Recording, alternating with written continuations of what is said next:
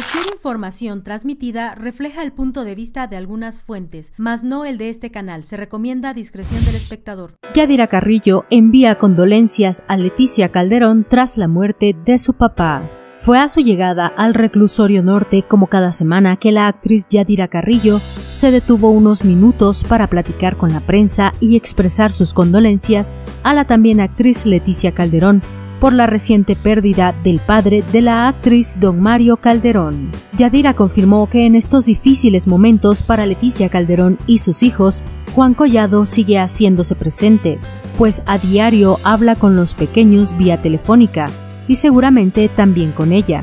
Claro que nos enteramos y lo siento muchísimo. Está devastada y le mando todo mi cariño, toda mi solidaridad. El padre es el padre y por supuesto le mando todo mi cariño y a toda la familia y que se recupere lo más pronto posible de este golpe tan fuerte, expresó Yadira Carrillo a la prensa.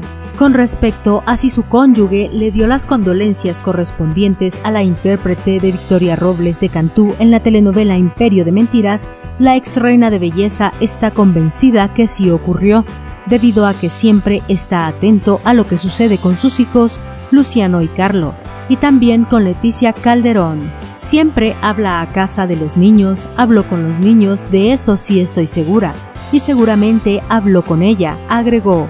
Él es un hombre muy responsable y es muy atento, y siempre está para apoyar y para ayudar. Por otro lado, Yadira Carrillo reveló que Julio Iglesias, quien es un gran amigo de Juan Collado, todo el tiempo tanto él como su esposa han estado al pendiente del proceso legal que mantiene el abogado y por el que ahora continúa recluido en prisión. Se los agradezco enormemente, ellos son unos hermanos para nosotros. Desde el primer día quería venir, pero no es conveniente de ninguna manera por su salud, concluyó la actriz en la entrevista. Suscríbete a nuestro canal y activa la campanita para recibir todas las notificaciones.